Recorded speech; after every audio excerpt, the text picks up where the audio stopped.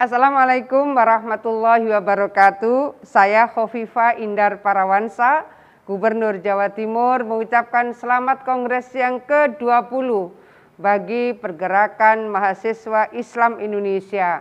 Mudah-mudahan Kongres yang dilaksanakan di saat pandemi COVID ini semuanya mudah-mudahan tetap bisa berjalan maksimal dan tentu jaga protokol kesehatan dengan baik Mudah-mudahan terlahir pemimpin-pemimpin yang akan mendedikasikan dirinya untuk perjalanan bangsa ke depan dari Kongres PMI yang ke-20 ini.